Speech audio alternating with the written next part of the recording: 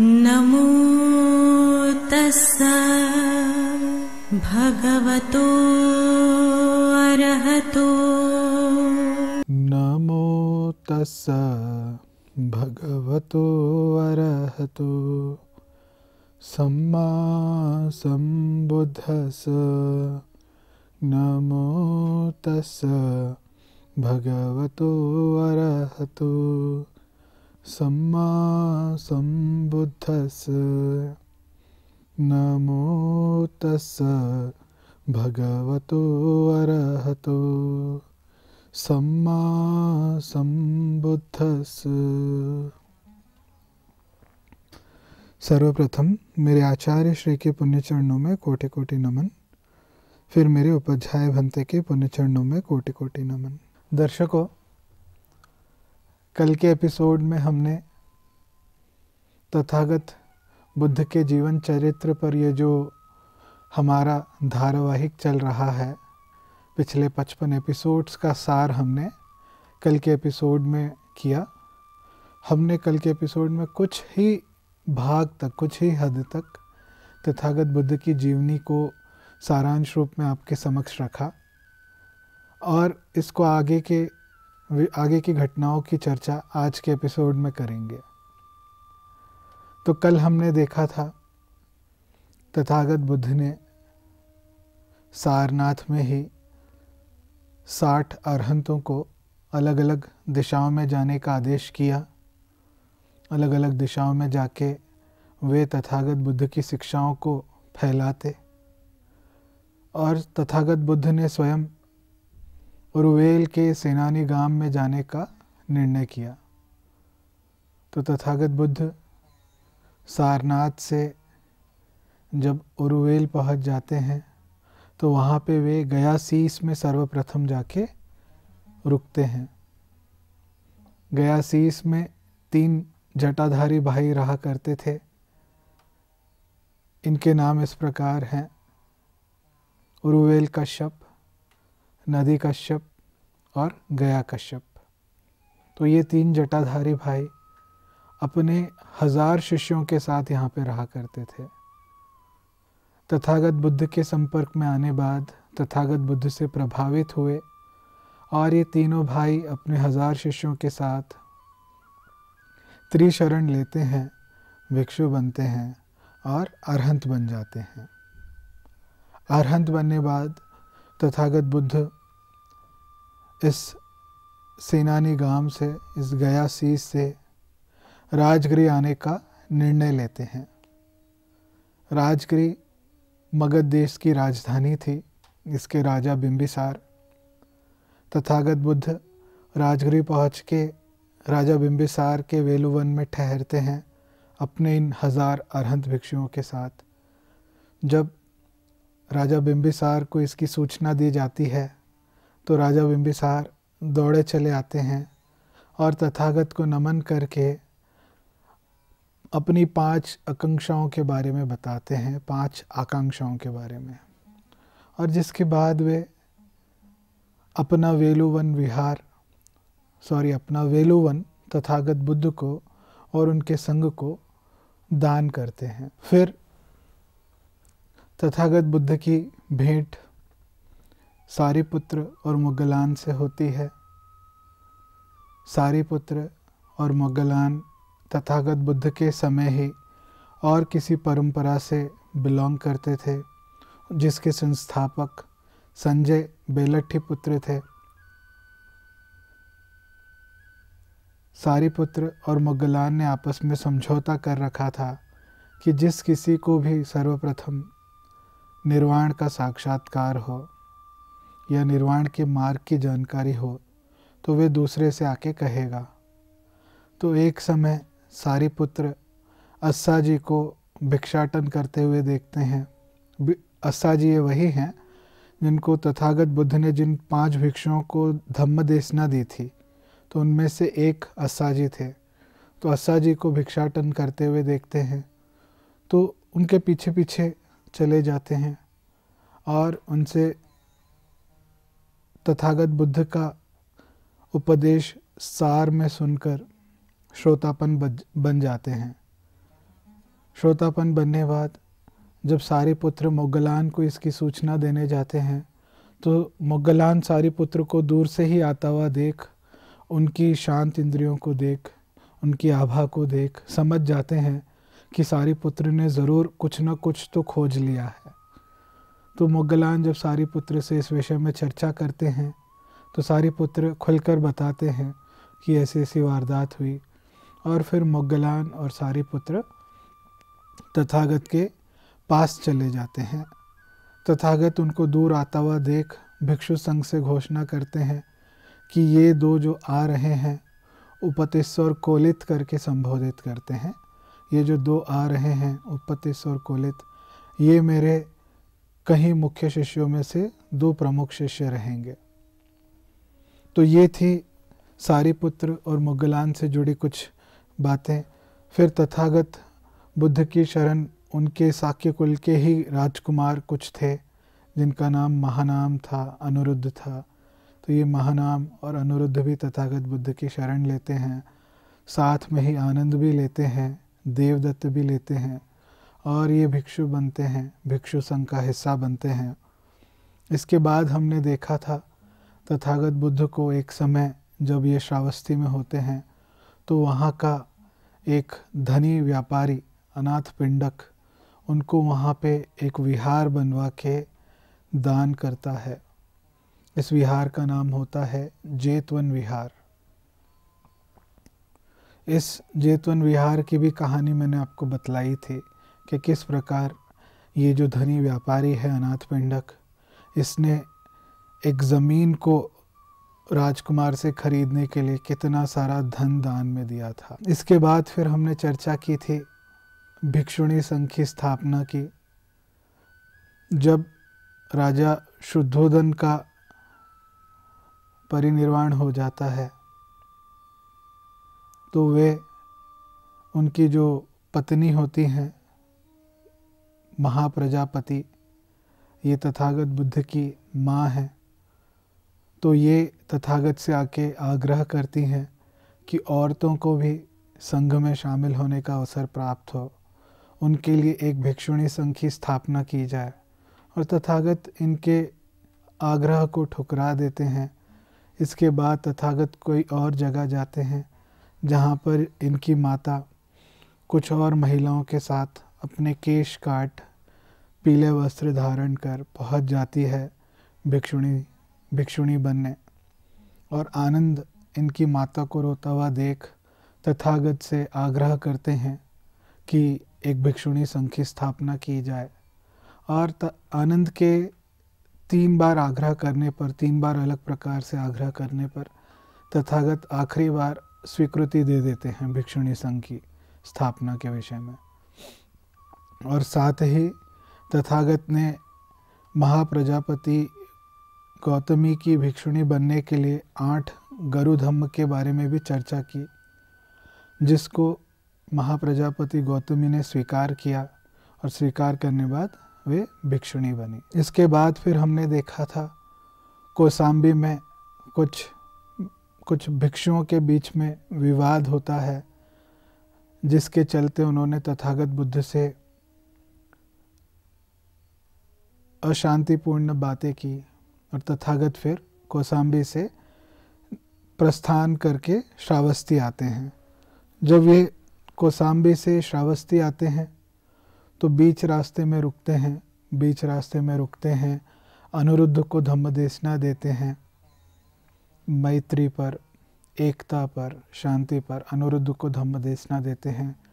अनुरुद्ध को धम्म देशना देने बाद फिर आगे बढ़ते हैं तो एक जंगल में एक पेड़ के नीचे बैठ के ध्यान साधना करते हैं तो वहाँ पे एक हाथी आता है। हाथी आके तथागत की सेवा करता है।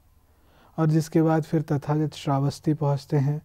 श्रावस्ती पहुँच के ये जो दो विवादित भिक्षु संघ की टोलियाँ थी, इनमें आपस में समझौता कराते हैं।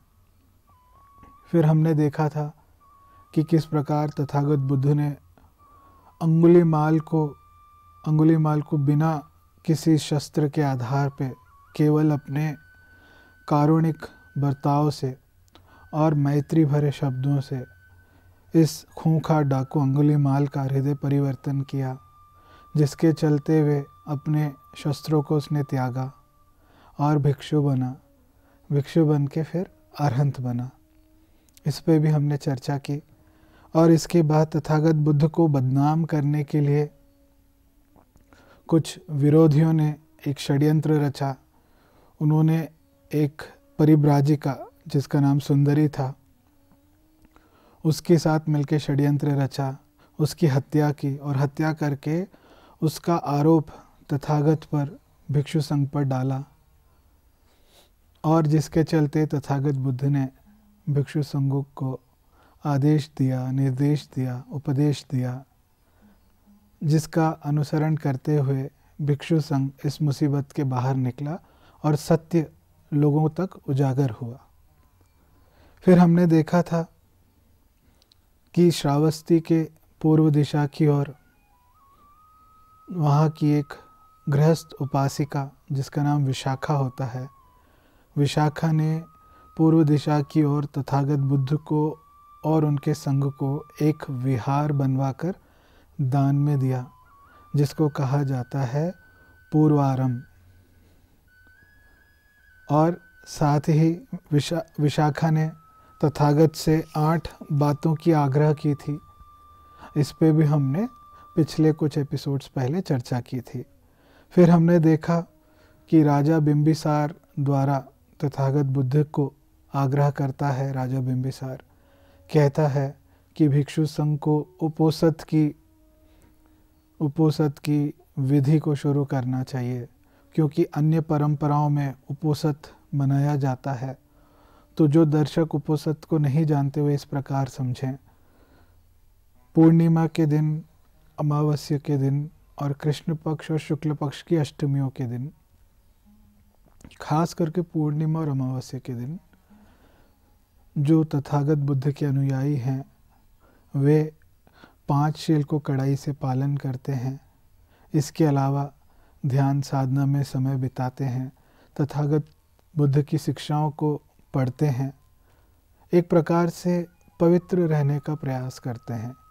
महीने के ये चार दिनों, पूर्णिमा, अमावस्या, शुक्ल पक्ष की अष्टमी, कृष्ण पक्ष की अष्टमी। क्यों? क्योंकि ये ये प्रकार की जो परंपरा थी तथागत बुद्ध के समय अन्य परंपराओं में चल रही थी। तो राजा बिंबिसार को ये परंपरा बहुत पसंद आती है और वे तथागत बुद्ध से आग्रह करते हैं कि तथागत बुद्ध भी इस प्रकार की एक परंपरा शुरू करें। तो जिसके चलते उपोसत का शुरुआत हुआ। तो इस पे भी हमने एक एपिसोड में चर्चा किया था। फिर हमने किसी और एपिसोड में देखा था कि तथागत बुद्ध प्राथी मोक्ष में अब भाग लेने से इनकार कर देते हैं, क्योंकि उस उस सभा में जहाँ पे प्रातिमोक्ष का पाठ होता है, वहाँ पे एक अपवित्र भिक्षु, एक व्यक्ति जो भिक्षु बन चुका था और अपवित्र था। अपवित्र इस मायने में कि उसने कोई शील को तोड़ा हुआ था।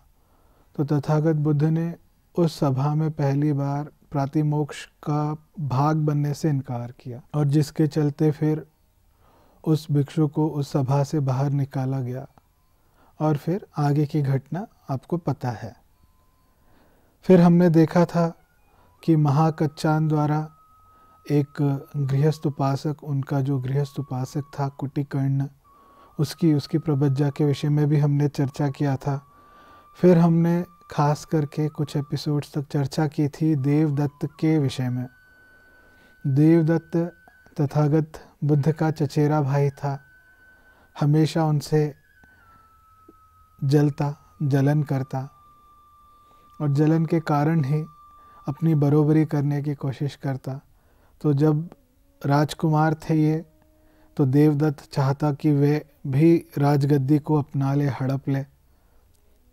और जब उन्होंने तथागत बुद्ध ने अपना गृहस्थ जीवन त्यागा, संन्यास का मार्ग अपनाया अरहंत बने, बुद्ध बने तो अब यहाँ भी आ गया देवदत्त, भिक्षु संघ में शामिल हो गया और स्वयं चाहता है कि बुद्ध बन जाए। तो इस विषय पे भी मैंने आप लोगों से चर्चा की थी। प्रयास करता है राजा अजात शत्रु को अपने राजा अजात शत्रु का विश्वास जीत के तथागत बुद्ध को मरवाने का प्रयास करता है, ताकि चाहता है कि राजा अजात शत्रु द्वारा जब ये तथागत बुद्ध की हत्या हो जाए तो ये स्वयं भिक्षु संघ को और भिक्षु संघ का संचालन स्वयं करे, स्वयं बुद्ध बन जाए। इसके चलते उसने नाना प्रकार के षड्यंत्र किए, जैसे कि एक हाथी को छुड़वाया तथागत बुद्ध के पीछे, जिसको तथागत बुद्ध ने मैत्री से, करुणा से शांत किया। फिर तथागत बुद्ध के ऊपर पत्थर, चट्टान से पत्थर फेंक के मारने का प्रयास किया। जब इसमें भी असफल हुआ तो बाद में भिक्षु संघ में फूट डालने की कोशिश की। भिक्षु संघ की एकता को, एकता एकता में फूट डालने की कोशिश की। उसमें भी सफल नहीं होता है। और किसके आधार पर फूट डालने की कोशिश करता है? पाँच बातों की मांगों को लेके फूट डालने की कोशिश करता है। तो इस पर भी हमने चर्चा की थी। इसके बाद फिर हम देखते हैं। राजा अजात शत्रु एक पड़ोसी देश पर आक्रमण की भावना से अपने एक मंत्री को वस्त्रकार, जिसका नाम था, अपने एक मंत्री को तथागत बुद्ध के पास भेजता है सलाह लेने के लिए कि वे इस देश पर आक्रमण करे या नहीं। तो जब ये मंत्री तथागत के पास आता है, राजा का संदेश लेके तो तथागत उसका उत्तर देते हुए कहते हैं कि वैशालियों में बहुत एकता है, प्रेम है। उन्हें तुम युद्ध करके नहीं हरा सकते। तुम कभी भी इस इस इस संकल्प को लेके सफल नहीं हो सकते। तो तथागत बुद्ध ने वहाँ पर शांति का, मैत्री का, करुणा का उपदेश दिया। फिर जिसके बाद हमने देखा, तथागत बुद्ध ने आगे चल के पाटली गाँव के विषय में भी भविष्यवाणी की। कहा कि ये जो पाटली गाँव है, आगे चल के भारत का एक बहुत बड़ा व्यापार का केंद्र बनेगा, अध्यात्म का केंद्र बनेगा और इसका शहर के रूप में रूपांतरण होगा और ये कहलाएगा पाटलिपुत्र। तो तथागत बुद्ध के बाद ये जो तथागत बुद्ध ने जो भविष्यवाणी की, जो घोषणा की, ये सत्य साबित होती है। क्योंकि 250 साल बाद जब हम देखते हैं राजा अशोक का समय, तथागत बुद्ध से 250 साल बाद जब राजा अशोक का समय होता है तो उनकी राजधानी ये पाटलिपुत्र होती है। और राजा अशोक का राज्य का फैलाव आप सब जानते हैं। जिस किसी ने भी इतिहास पढ़ा होगा, वे जानता है कि राजा अशोक का राज्य दूरों तक फैला हुआ था और इतने बड़े राज्य की राजधानी पाटलिपुत्र हुआ करती थी। पाटलिपुत्र वहीं पर आज के समय में सीमित है, जिसे हम पटना के नाम से जानते हैं। तो तथागत बुद्ध ने इस पाटलिपुत्र के विषय में भी भविष्यवाणी की थी। इसके अलावा हमने देखा था, तथागत बुद्ध वैशाली जाते हैं। वैशाली में जाके आम्रपाली के आम के बगीचे में ठहरते हैं और वैशाली को जब इसकी सूचना प्राप्त होती है, वे दौड़ी चली आती है। तथागत बुद्ध को, उनके भिक्षु संघ को अपना ये आम का बगीचा दान देती है। और आम्रपाली आगे चल के अरहंत भी बनती है, भिक्षुणी बनती है, भिक्षुणी बन के अरहंत भी बन जाती है। फिर हमने देखा था कि बेलो गाँव में तथागत बुद्ध अपना अंतिम वर्षावास बिताते हैं, जिसके चलते उन्हें जानलेवा बीमारी हो जाती है। एक प्रकार का मान लिया जाए तो डिसेंट्री हो जाता है, जानलेवा बीमारी हो जाती है, फिर जिससे वे उभरते हैं। उभरने के बाद फिर वे श्रावस्ती से होते हुए,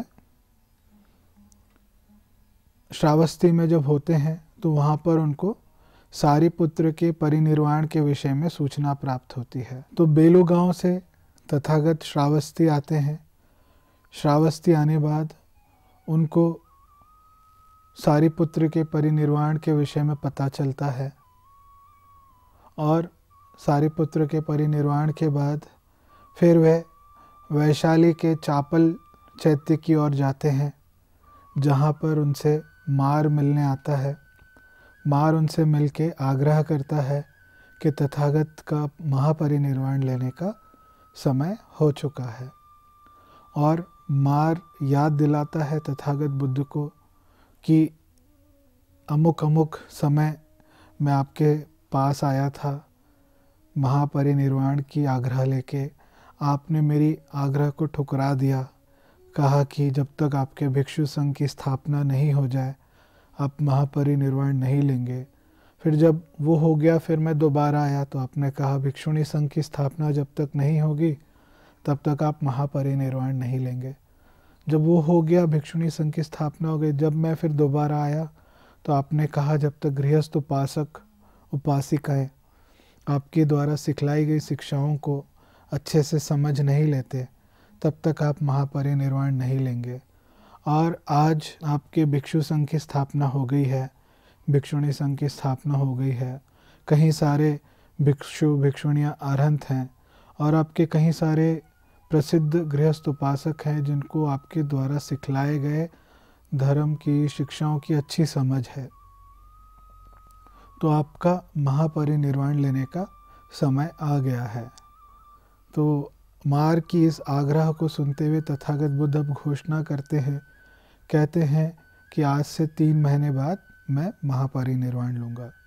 और जैसे ही तथागत ये कहते हैं, भूकंप आता है ज़ोर से, पास में ही, थोड़ी ही दूर पर आनंद थे तो आनंद तथागत के पास आते हैं, आके निवेदन करते हैं, पूछते हैं तथागत से कि भूकंप क्यों आया? तथागत ने फिर उस भूकंप के आठ कारण बतलाए कि भूकंप किन किन कारणों से आता है। तो उसमें से एक कारण ये होता है कि जब तथागत अपने महापरिनिर्वाण लेने की घोषणा करें जिस क्षण, उस समय भूकंप आता है तो आनंद को काफ़ी ज़्यादा दुख होता है। वे तथागत से निवेदन करते हैं कि आप महापरिनिर्वाण ना लें। जन कल्याण हेतु, लोगों का भला करने हेतु, अनुकंपा हेतु, करुणा हेतु महापरिनिर्वाण ना लें। तो तथागत कहते हैं आनंद, अब इस चीज़ का समय चला गया है। तथागत ने अपने वचन दे दिए हैं। अब ये संभव नहीं कि तथागत अपने वचनों से मुँह कर जाए। तो तथागत का महापरिनिर्वाण तीन महीने बाद होगा। फिर इस श्रृंखला में हम देखते हैं, तथागत वैशाली से आगे बढ़ते हुए पावा पहुँचते हैं। पावा में वे पावा में वे चुंद के यहाँ पे ठहरते हैं। चुंद उन्हें सूकर मद्दव का भोजन परोसता है, जिसे तथागत खा के उनकी तबीयत अत्यंत बिगड़ जाती है। और इस अवस्था में भी तथागत अपनी यात्रा को जारी रखते हैं। पावा से कुशीनगर की ओर बढ़ रहे थे तो उस समय बीच में एक गृहस्थ उपासक जिसका नाम पुक्कुस था उनसे उनकी भेंट होती है। पुक्कुस तथागत को और आनंद को एक एक चीवर, सोने से बना हुआ एक एक चीवर भेंट करता है, दान करता है। और उसके जाने के बाद आनंद अपना चीवर भी तथागत को दान कर देते हैं, अर्पण कर देते हैं। और इसके बाद फिर तथागत आगे बढ़ते हुए ककुता नदी के पास पहुँचते हैं। ककुता नदी के पास पहुंचकर वहाँ पर स्नान करके एक बगल में ही एक आम का बाग होता है, वहाँ पर थोड़ी देर विश्राम करते हैं और उस विश्राम के दौरान आनंद को आदेश करते हैं, कहते हैं कि कोई भी चुंद पर दोषारोपण नहीं करेगा कि उसके भोजन के उपरांत तथागत बुद्ध की सेहत बिगड़ी और तथागत बुद्ध महापरिनिर्वाण को प्राप्त किए। तो कोई भी चुंद को इस प्रकार से उस पर दोषारोपण नहीं करेगा। तथागत ने ये स्पष्ट रूप से आनंद को आदेश दिया। चुंद के पास जो तथागत बुद्ध ने भोजन किया था, वे तथागत बुद्ध का अंतिम भोजन था। अब इसके बाद तथागत बुद्ध ककुथा नदी से होते हुए कुशीनगर पहुँच जाते हैं। कुशीनगर पहुँच के जो जो दो जुड़वा शाल वृक्ष हैं। उनके मध्य सिंहासन में उत्तर दिशा की ओर अपना, पूरब दिशा की ओर अपना सर करके लेट जाते हैं। और इस दौरान तथागत बुद्ध ने आनंद को कहीं सारे मुख्य निर्देश दिए, मुख्य उपदेश दिए, मुख्य बातें कही, कहा कि उनके जाने के बाद उनके उनके उनके शरीर के साथ किस प्रकार से उसका आदर करना चाहिए, सम्मान करना चाहिए, उस विषय में बतलाया। उसके अलावा ये भी चीज़ की जानकारी दी आनंद को कि कभी कभार हो सकता है कि कोई व्यक्ति धम्म और विनय के विषय में कुछ गलत बातें फैला सकता है। तो उसकी शुद्धिकरण, उसकी स्पष्टीकरण किस रूप में हो? इस प्रकार से कुछ मुख्य विषयों पर तथागत बुद्ध ने आनंद को निर्देश दिया। और इसके चलते हमने देखा था आनंद अत्यंत भावुक हो जाते हैं, रोते हैं। और इस श्रृंखला के बाद तथागत बुद्ध का महापरिनिर्वाण होता है। तथागत बुद्ध के महापरिनिर्वाण के बाद उनकी हड्डियों को आठ भागों में बांटा जाता है और ये अलग अलग राज्यों में स्तूप बनवाकर तथागत बुद्ध की हड्डियों को आदरपूर्वक उसमें उसकी स्थापना की जाती है। और इसके अलावा जिस लोटे में तथागत बुद्ध की हड्डियाँ रखी गई थी, उस लोटे को ब्राह्मण द्रोण ले जाता है और वे भी अपनी जगह पर स्तूप बनवाकर उसमें उसकी आदरपूर्वक सम्मान करता है। फिर हमने देखा था, तथागत बुद्ध के महापरिनिर्वाण के कुछ ही सप्ताह बाद महाकश्यप भिक्षु संघ को बुलाते हैं और एक संघायन करने की, संघायन करने का प्रस्ताव रखते हैं, जिसका उद्देश्य होता है कि तथागत बुद्ध द्वारा सिखलाई गई जो शिक्षाएँ हैं, उसको शुद्ध रूप से कैसे उसको प्रिजर्व किया जाए। और फिर हम देखते हैं इस संघायन में उपाली और आनंद का बहुत मुख्य रोल होता है। उपाली तथागत बुद्ध द्वारा सिखलाए सिखलाए गए विनय के नियमों का वहाँ पर गायन करते हैं और आनंद तथागत बुद्ध द्वारा सिखलाई गई सूत्रों पर गायन करते हैं और इस प्रकार से पाली त्रिपिटक का, पाली त्रिपिटक का साहित्य हमें बरामद होता है। तो ये था पहला संगायन और ऐसे इस प्रकार से समय समय पे कुछ और संगायन होते रहे, जिसको चलते ये जो शिक्षा है तथागत बुद्ध की पीढ़ी दर पीढ़ी दर पीढ़ी दर द्वारा हमें शुद्ध रूप में प्राप्त होती है। तो दर्शकों, आज के लिए केवल इतना ही। बाकी के विषय की चर्चा हम कल के एपिसोड में करेंगे। नमो बुद्धाय। भवतु सब मंगलम भवतु मंगलम भवतु सब मंगलम। सबका भला हो, सबका मंगल हो, सबका कल्याण हो। सुखियो सुखियो सुखियो।